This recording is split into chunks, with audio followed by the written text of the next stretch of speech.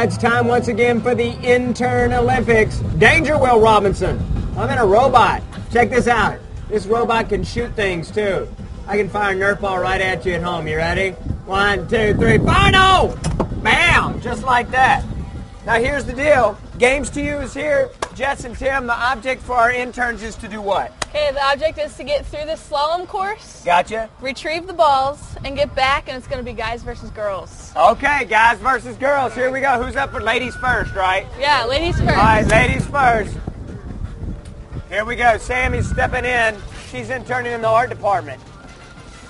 She's gonna get all artsy on this thing. I can see it happening. They're locking her in the robot. Okay. On your mark, get set, go. There she's up and running. She's off to a flying start.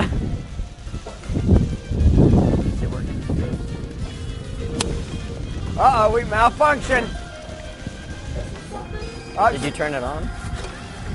there you go. There it is. And now she's off and running. Now we'll start the clock. She's got to get. Oh, she hit a cone. She hit a cone. Do you have to go over the cones or Go around the cone. Got to go around the cones. Ah, we got some conage. Hey, look, Dave Sharp is giving you robot vantage point. He's on top of the robot. That's a view you don't always get. All right, she's cleared the course. There is no more course. Sammy has cleared it. But the ladies have retreated, and she deposited them on the other side. And come on, you missed one.